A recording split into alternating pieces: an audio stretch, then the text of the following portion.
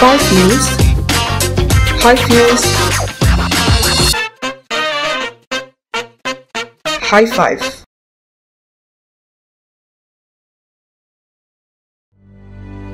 Hai sahabat kompas.com, High Five kembali lagi dengan berita dan informasi terpopuler hari ini. Berikut 5 berita edisi 21 Februari 2022.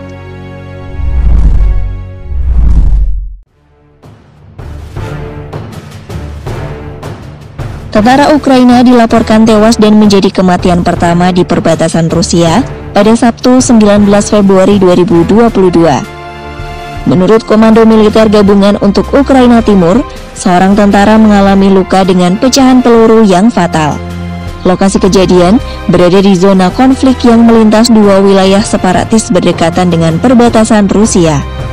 Sementara itu, layanan darurat Ukraina melaporkan dua stafnya terluka dalam gelombang serangan pada Jumat 18 Februari 2022. Angkatan bersenjata Ukraina mengatakan bahwa pemberontakan menggunakan mortir kaliber 82 dan 102 mm. Hal ini dilarang berdasarkan kesepakatan gencatan senjata yang sebelumnya disepakati oleh kota seberang garis depan yang melintas wilayah timur Luhansk dan Donetsk.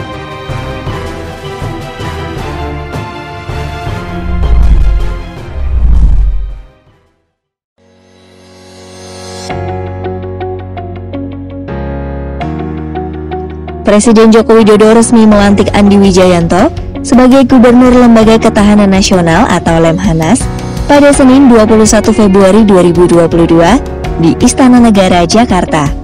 Pelantikan ini berdasarkan keputusan Presiden RI nomor 21P tahun 2022 tentang pengangkatan Gubernur Lembaga Ketahanan Nasional Republik Indonesia. Andi Wijayanto resmi menggantikan gubernur sebelumnya Letnan Jenderal TNI Agus Wijoyo yang mendapatkan tugas baru sebagai Duta Besar RI untuk Filipina. Pada periode pertama pemerintahan Jokowi, Andi Wijayanto juga masuk dalam kabinet sebagai sekretaris kabinet. Namun, di tengah perjalanan, putra politisi PDIP ini harus direshuffle dan digantikan oleh Pramono Anung.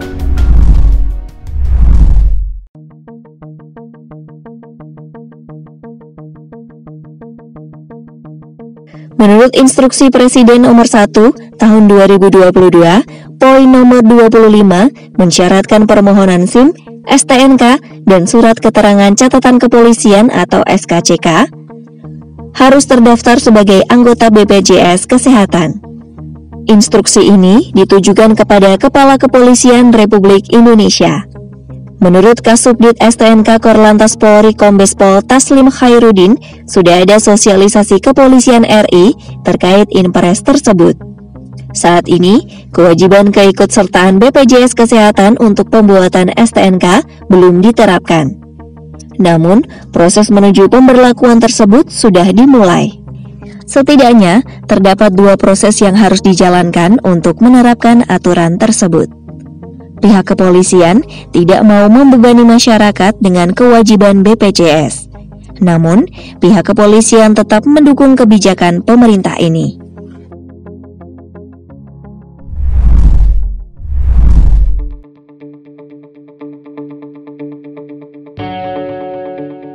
Gubernur DKI Jakarta Anies Baswedan menyatakan bahwa pengurukan Kalimampang sudah selesai 100%.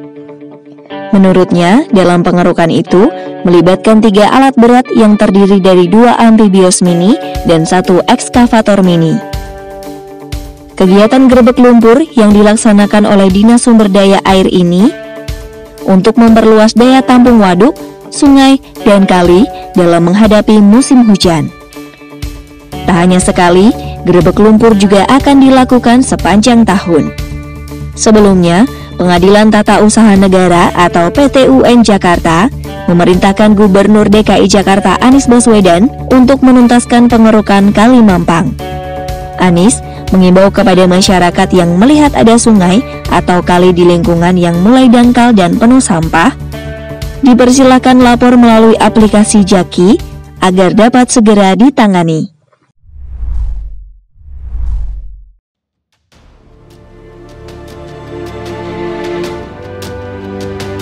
Australia menuduh Cina lakukan tindakan intimidasi yang tidak beralasan usai kapal Angkatan Laut Cina menyorotkan laser ke sebuah pesawat militer Australia pada Minggu 17 Februari 2022. Dalam laporan disebutkan bahwa laser yang berasal dari kapal Cina menyinari pesawat pengintai Boeing P-8A Poseidon milik Australia.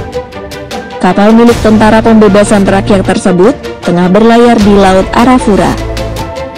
Informasi tersebut diberikan Angkatan Pertahanan Australia pada Sabtu 19 Februari 2022. Mereka menyatakan insiden tersebut dapat membahayakan nyawa personel di dalamnya.